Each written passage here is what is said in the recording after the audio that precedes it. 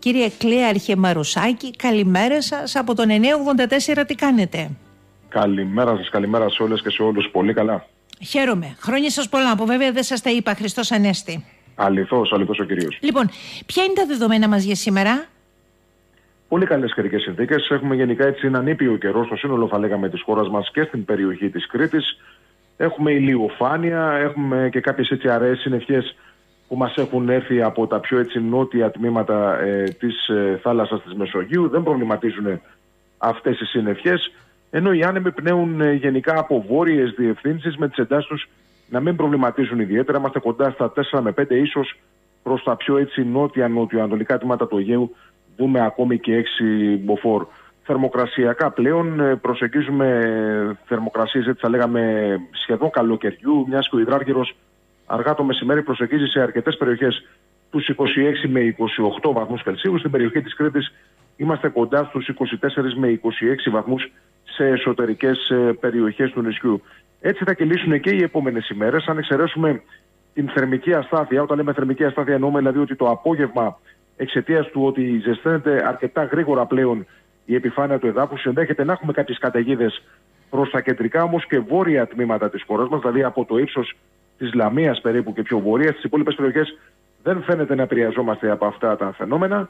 Και έτσι θα πάμε λοιπόν μέχρι και το τέλος της εβδομάδας, χωρίς κάτι το αξιόλογο, με βοριάδες βέβαια μέσα στο Αιγείο κοντά στα 6 μποφόρ και τον υδράργυρο να είναι κοντά στους 24 με 26 βαθμούς Κελσίου. Mm, Μας δώσατε λίγο πολύ και τον καιρό μέχρι και την Πρωτομαγιά, αν καταλαβαίνω καλά. Ακριβώς. Και την Πρωτομαγιά, δηλαδή την Κυριακή, δεν φαίνεται να έχουμε κάτι το ιδιαίτερο στη χώρα μας. Οι βοριάδες θα είναι το σημαντικότερο χαρακτηριστικό ε, μέσα στο Αιγαίο και τα ανατολικά επιρροτικά θα φτάνουν τα 6 πιθανόν σε περιοχές όπου ευνοείται το φαινόμενο του καναλισμού. Δηλαδή εκεί όπου ο αέρας προσπαθεί να περάσει από ένα στένεμα νησιών να φτάνουμε ακόμη και τα 7 μποφόρ, όχι όμως απαγορευτικό για τις μετακινήσεις μας ε, μέσα στο Αιγαίο. Και η θερμοκρασία εκεί κοντά στα επίπεδα τα σημερινά 24-26 τοπικά και 27 βαθμούς Κελσίου. Άνοιξε και θα λέγαμε προς καλοκαιρινές καιρικές συνθήκες.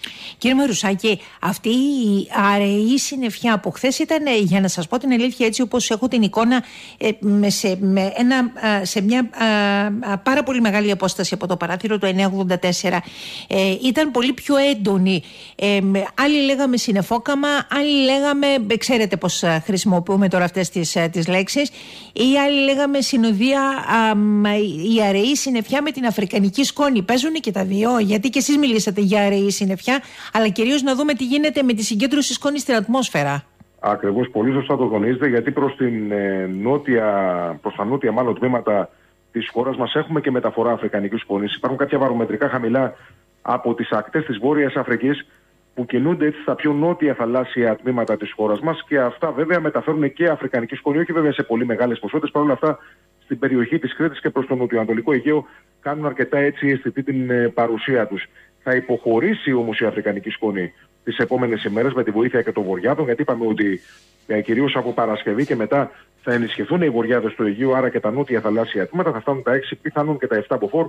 Αυτό θα βοηθήσει στο να απομακρυνθεί η Αφρικανική σκόνη και να έχουμε έτσι μια καλύτερη ποιότητα ατμοσφαιρικού αέρα ε, σε σχέση βέβαια με τις προηγούμενες ημέρες που όπως πολύ σωστά τονίσατε, είχαμε έτσι ένα συνδυασμό αφρικανικής σκόνης αλλά και αραιών εφόσεων, δηλαδή νεφώσεων που παρατηρούνται σε υψηλά στρώματα μέσα στην ατμόσφαιρα. Άρα λοιπόν μας σώζει λίγο πολύ το βορειαδάκι, γιατί και χθες νομίζω λίγο βορειαδάκι είχαμε και σήμερα λίγο βορειαδάκι θα έχουμε. Οπότε γι' αυτό βλέπω και λίγο καθαρότερη την ατμόσφαιρα. Αυτό να καταλάβω.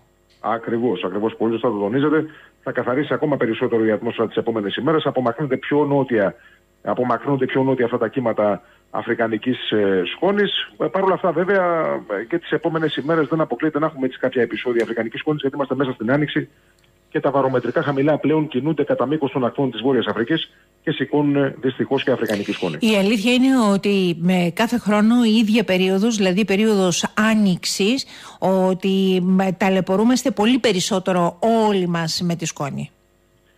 Πολύ σωστά και αυτό βέβαια οφείλεται στο φαινόμενο της ερημοποίησης. Ε, λιγοστεύουν οι βροχές προς την περιοχή της Αφρικής. Αυτό δίνει βέβαια την ευκαιρία στην, ε, στο χώμα, να το πούμε έτσι απλά, να ανέλθει στην επιφάνεια. Δεν υπάρχει πλέον βλάστηση. Δεν υπάρχει αυτή η πυκνή βλάστηση ώστε να καλύψει αυτές τις ποσότητες ε, χώματος, αφρικανικής σκόνης με αποτέλεσμα όταν περνούν τα συστήματα κακοκαιρίας που επικρατούν βέβαια οι κανονικέ κινήσεις να σηκώνεται η αφρικανική σκόνη και να φτάνει όχι μόνο βέβαια στη χώρα μας, αλλά και σε πολύ έτσι μεγαλύτερα γεωγραφικά πλατή. Παρατηρούμε αυτές τις ποσότητες αφρικανικής σκόνη να φτάνουν ακόμη και προς την περιοχή της Σκανδιναβίας αλλά και της Ρωσίας.